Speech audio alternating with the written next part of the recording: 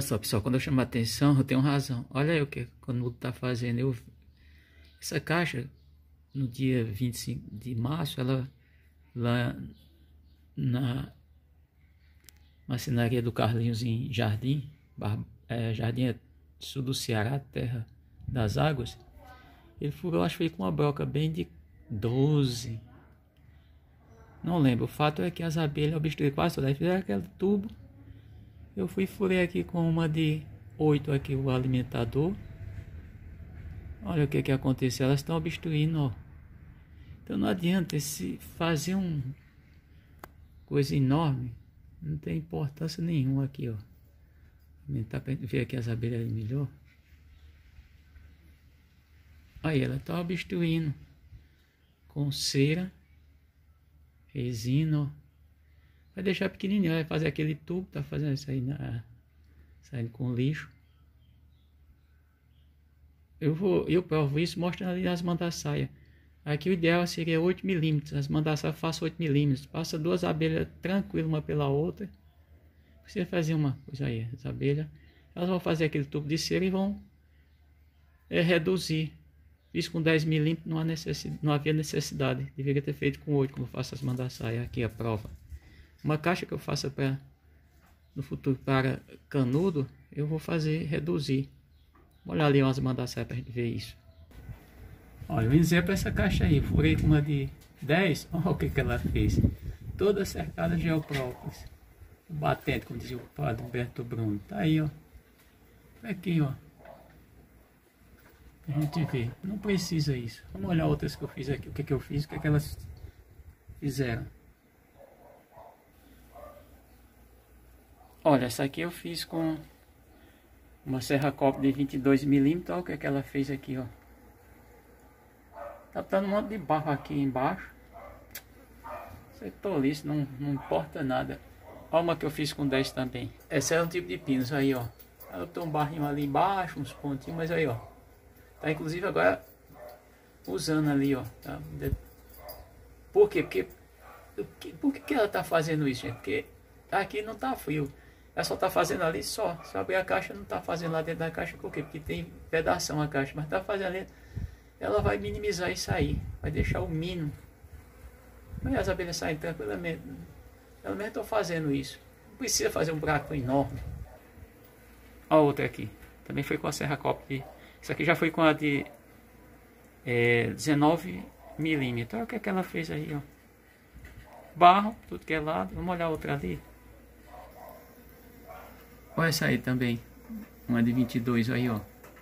Um de barro ali, ó. Ela fica até em cima, ó. Olha se as abelhas vêm para sair, entrar. Aí, ó. A abelha vai saindo, ó. Tem uma abelha aí, até, ó. Saiu tranquilo, ó. Ó, saindo mais abelha precisa fazer esse exagero de entrada de abelha. Isso é, prejudica. Olha, essa aqui é aquela do Vicente, lá de Juazeiro. Na verdade, ele é de Araripe, no Ceará, mas mora em Juazeiro da Bahia. Foi feita, aqui eu já peguei pronta. A entrada é com 10 milímetros. Ali, ó, tem três abelhas ali na entrada, ó. Tentando proteger. Já botou um monte de barro ali na entrada. Gente, isso aqui é fazer isso, não tem importância, não vai ser importante para a abelha. Nossas abelhas, elas fazem uma parte, por exemplo, a tubuna, vou pegar a tubuna, a escaptrona bipontada. Você vê que ela tem fora uma entrada grande, mas se você vai para a entrada onde elas entram na madeira, no tronco das árvores, é bem pequenininha, bem reduzida. Então isso diminui a uma entrada muito grande, prejudica, porque se o tempo esfriar é a questão é, da termorregulação e tudo tem que ser controlado aqui pela essa entrada. Então fazer um buraco enorme para fosse passar um, um, elefante não é interessante para as abelhas. A outra aqui, eu só fiz um pouquinho, ainda bem que eu só usei a serra cópica, só tinha importância enorme, só um pouquinho. Olha o que, que ela está fazendo. Está botando barro. Idem, olha aí, ó. Também botando barro. Aí você olha as outras caixas, aquela que é com 8 milímetros, ou aquele o alimentador roxo, ou não tem, eu só tenho um pouquinho, como esse aqui, ó. Baixando aqui a câmera.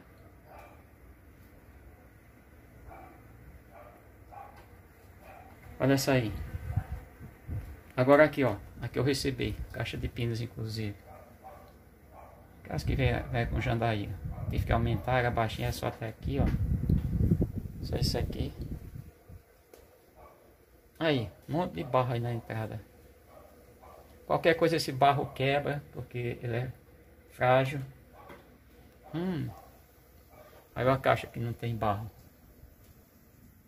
Só um pouquinho a referência ali, porque é 8 milímetros.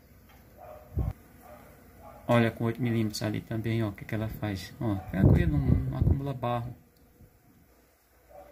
Ó, o tanto aí, ó. Acho que é feito com 8 milímetros, não tem, ó. Pode ser qualquer madeira, ó. Emburana. Isso aqui é piqui, ó. É piqui. Ó. Isso aqui eu fiz, ó. Emburana. Ali, ó. É. Pinos. Emburana, ó. Aqui, piqui. Agora aqui, ó. O cara furou com uma de 10. Eu disse que não era pra furar. Primeiro fez a caixa mais estreita um pouco. Tudo errado.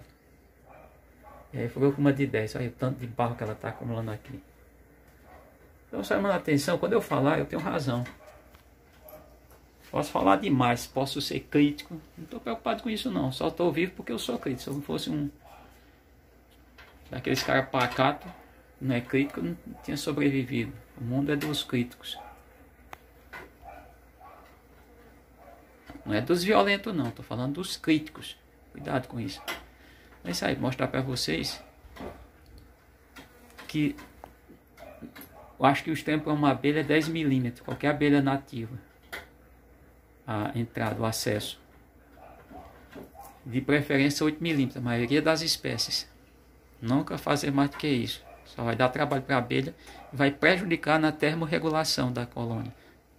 Aquelas caixas que tem tapa solta, aquela loucura ali, aí já não tem mais termorregulação. O tempo esfriou, a abelha morre conta do frio, se esquentar a, mulher, a abelha morre de calor, tudo muito complicado. Só para a gente mostrar essa realidade que muita gente não sabe, não consegue enxergar.